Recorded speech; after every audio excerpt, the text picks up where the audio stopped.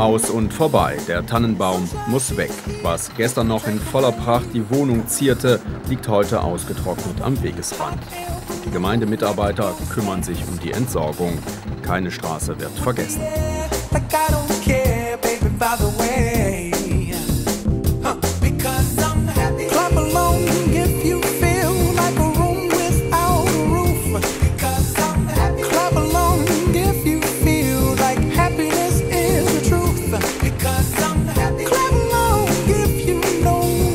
Für uns ist es mittlerweile eine Routinearbeit.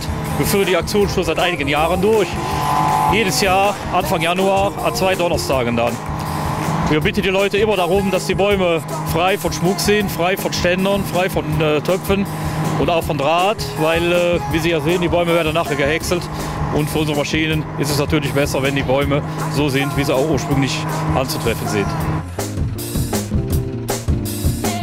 Also nackt, ganz ohne Schmuck und Glitzerzeug. Heute haben die Mitarbeiter Glück. Hier und da finden sich zwar noch ein paar Lametta-Spuren, aber die Bäume können doch noch einen Zweck erfüllen. Die Bäume werden jetzt klein gehäckselt. Den, ähm, den Hackschnitz oder das Gehäckselte wird dann zuerst in der Box gelegt und nachher werden wir die Sachen dann auf Beete verteilen, um eben dem Unkrautwuchs auch ein bisschen Einhalt gebieten zu können.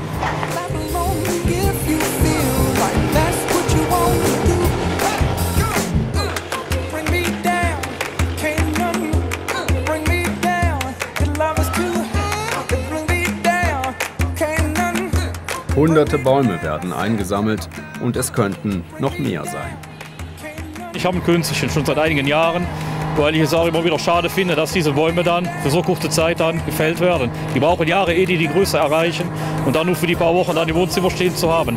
Das war uns dann noch ein bisschen zu blöd und darum haben wir entschieden, dann eben ein äh, Künstchen zu kaufen. Und äh, mittlerweile hat das sich auch schon sehr bezahlt gemacht.